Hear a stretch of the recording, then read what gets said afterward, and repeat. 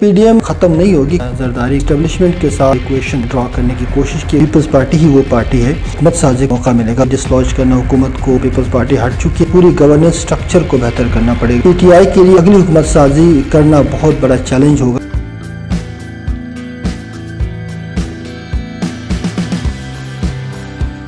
इसमें जो है, आसिफ अली जरदारी की जो स्ट्रेटजी नज़र आती है, वो ऑब्वियसली वो आने वाले नेक्स्ट इलेक्शन के लिए तैयारी कर रहा है।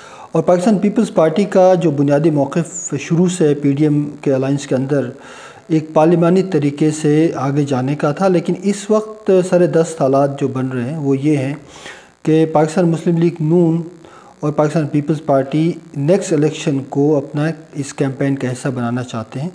और इसमें पाकिस्तान पीपल्स पार्टी का जो मौक़ रहा है, वो बुनियादी तौर पे एक अरेंजमेंट के थ्रू पावर्स के साथ अरेंजमेंट के थ्रू नई हुकूमत साजी के लिए तैयारी करनी है। लेकिन प्रॉब्लम पाकिस्तान पीपल्स पार्टी के साथ जो जरदारी की स्ट्रेटी है, उसके साथ ये है कि पाकिस्तान पीपल्स पार्टी इस वक्त पंजाब में और दीगर सूबों में कोई ख़ास उनकी मौजूदगी नहीं है।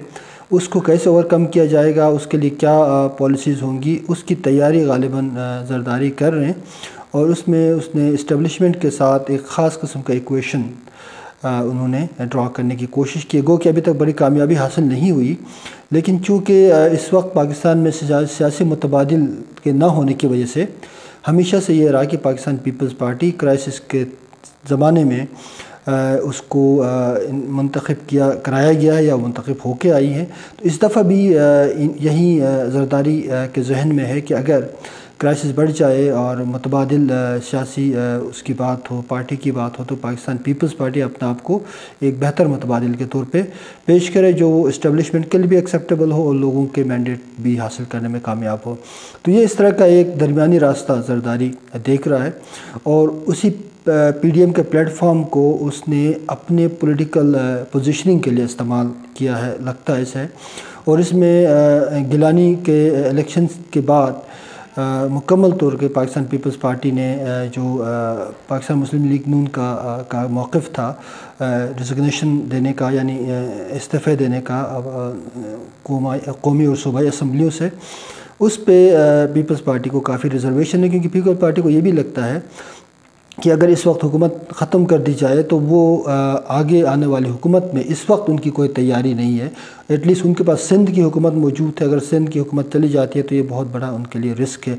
तो वो रिस्क लेना भी नहीं चाहते। असफ अली की जो स्ट्रेटजी है, वो स्ट्रेट फॉरवर्ड है कि वो इस दफ़ा पीटीआई की हुकूमत को डिसलॉज करने के हक़ में नहीं है। वो चाहते हैं कि ये अपने जो दो, डेढ़, दो साल रह गए, ये पूरे पूरे करें और उसके बाद जो अगला पॉलिटिकल कैलकुलेशन है, या जो अगली हुकूमत बनेगी, उसकी तैयारी कर रहे हैं। और ज़ाहिर बात है, जरदारी को ये पता है कि ये सिर्फ़ पॉपुलर मोबलाइजेशन से नहीं होगा। उसके लिए उसको रियासत के जो पावरफुल इदारे हैं, उनके साथ उनको कोई इक्वेशन बनानी पड़ेगी और ज़रदारी उसकी तरफ़ जा रहे हैं। और इसमें लॉन्ग मार्च में भी लॉन्ग मार्च भी नहीं होगा और दूसरी बात यह है कि जरदारी के जो पाकिस्तान पीपल्स पार्टी के एम पी एस और एम एन एस भी इस्तीफ़ा नहीं देंगे। और ये चूँकि इनका ये ख्याल है कि पीपल्स पार्टी का जो जरदारी का जो स्टडी है, वो ये है कि पीडीएम के थ्रू पीटीआई को दबाव में भी रखा जाए, लेकिन पीटीआई की हुकूमत भी चलती रहे और एक पब्लिक मोबिलाइजेशन का सिलसिला भी जारी हो। जो कि पाकिस्तान मुस्लिम लीग नून का जो मौक़ है, उससे बिल्कुल डिफरेंट है। उनका ये ख्याल था कि इस्तीफ़े दे के लॉन्ग मार्च के ज़रिए हुकूमत को डिसलॉज किया जाए और नए इलेक्शन करवाए जाए। इस वक्त क्योंकि पाकिस्तान मुस्लिम लीग नून के लिए पब्लिक सपोर्ट पंजाब में ख़ासकर जो सबसे बड़ा सूबा है, यहाँ पे बहुत ज़्यादा है और इसको वो कैपिटलाइज़ करना चाह रहे हैं। लेकिन जरदारी और पाकिस्तान पीपल्स पार्टी के लिए इस वक्त बहुत चैलेंजेस हैं। सिंध के अलावा इनकी अपनी इस वक्त कोई पॉपुलर बेस मौजूद नहीं है।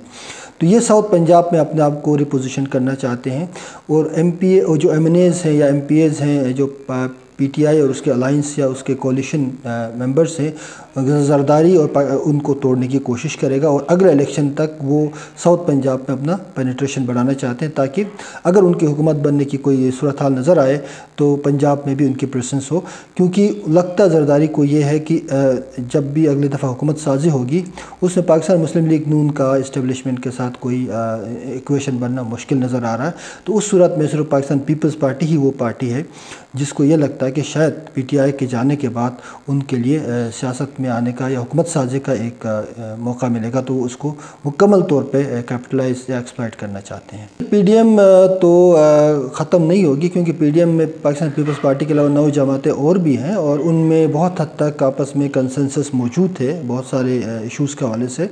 इवन पाकिस्तान पीपल्स पार्टी भी हुक्मरान जमात को प्रेशर में लाने के लिए पीडीएम के प्लेटफार्म को इस्तेमाल करने के हक़ में है।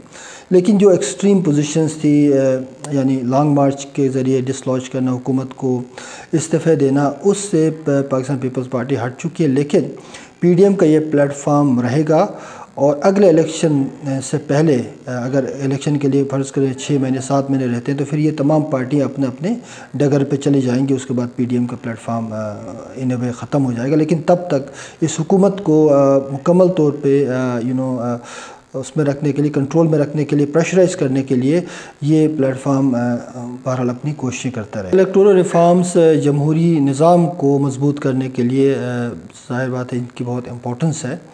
लेकिन जो मेन स्ट्रीम पार्टियाँ हैं, अभी फ़िलहाल वो इस इनकी तरजीह नहीं है, क्योंकि वो समझते हैं कि अगली दफ़ा जो भी हुकूमत साजी होगी, वो एक डील के नतीजे में ही हो सकती है। तो डील के नतीजे में होने का मतलब यह है कि इलेक्टोरल रिफॉर्म्स की इम्पोर्टेंस फिर ख़त्म हो जाती है। लेकिन अगली दफ़ा जो भी हुकूमत आए, उसकी मेरे ख्याल में ज़िम्मेदारी होनी चाहिए कि आइंदा वक्त के लिए इलेक्टोरल रिफॉर्म्स की बात करें ट्रांसपेरेंसी लाने की कोशिश करें और ये कोई अलग थलग इलेक्टोरल रिफॉर्म नहीं हो सकता। इसके लिए पूरी गवर्नेंस स्ट्रक्चर को बेहतर करना पड़ेगा।